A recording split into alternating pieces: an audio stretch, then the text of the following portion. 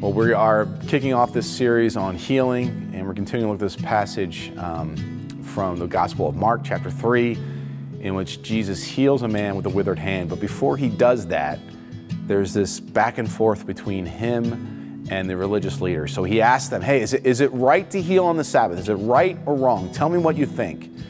But they're silent. The next verse tells us, And he, he Jesus, looked around at them with anger grieved at their hardness of heart.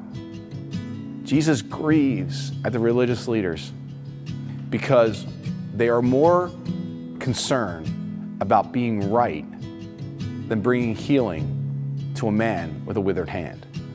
And that just distresses him. It sads him. It grieves him. He's grieved at their hardness of heart. And this is a reminder to us, I think, as we're in this series, as we're kicking off, when it comes to healing, we can develop a hardness of heart. We can either develop a hardness of heart, if maybe for healing for ourselves or for others, that like, hey, it's just never going to happen. God doesn't care, right? Or we can develop a hardness of heart that we don't care about other people's pain, that we just kind of go on. I know I can develop that.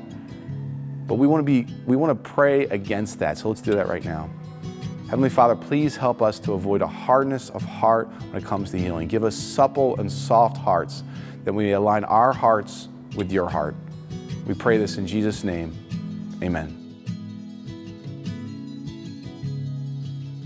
Thank you for participating in our daily practice. Hit that subscribe button so you don't miss a single video. You can be part of our mission to love God, love others, and make disciples by sharing this video. We're grateful you're part of this community.